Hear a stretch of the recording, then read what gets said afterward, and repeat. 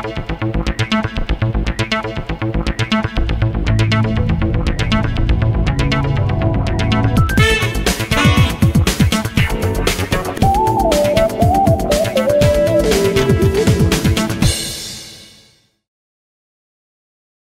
Presidida pelo vereador Jorge da Farmácia, a Comissão Permanente das Pessoas com Deficiência recebeu nesta terça-feira para sua reunião mensal a Associação Pestalozzi de Campinas. No encontro realizado no plenarinho da Câmara Municipal, o presidente e a diretora pedagógica da instituição apresentaram um balanço das atividades desenvolvidas nos últimos meses. A Associação Pestalozzi, que em 2018 completa 40 anos de existência, foi fundada para atuar na área da educação especial de crianças, jovens e adultos com deficiências e também seus familiares.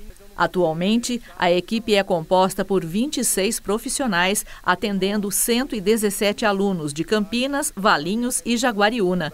93 pessoas aguardam uma vaga para receber os cuidados da pestalose. Acho que o nosso maior desafio é todo dia buscar o atendimento adequado, o atendimento para que as os nossos, nossas crianças, adolescentes e adultos tenham um bom serviço prestado. Então, sempre nessa busca de atender o espírito do nosso Criador, que é o Pestalozzi. Para se manter, a instituição conta com recursos oriundos de empresas parceiras, além de doações da sociedade e trabalho voluntário. Eu acredito que o trabalho que vem sendo desenvolvido na sociedade, com muita conscientização, que a comissão presidida pelo vereador Jorge, tem feito.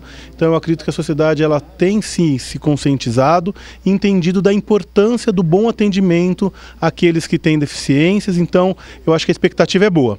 Precisamos apenas contar com alguns auxílios da sociedade. O vereador Jorge da Farmácia considerou a reunião positiva e falou da sua admiração pela instituição. Pestalozzi vem trabalhando, vem fazendo um trabalho excepcional para a nossa cidade de Campinas e eu, como presidente da Comissão das Pessoas com Deficiência e Mobilidade Reduzida não poderia deixar de ouvir e de tentar ajudar de alguma maneira esta instituição tão séria que faz um trabalho espetacular na nossa cidade de Campinas.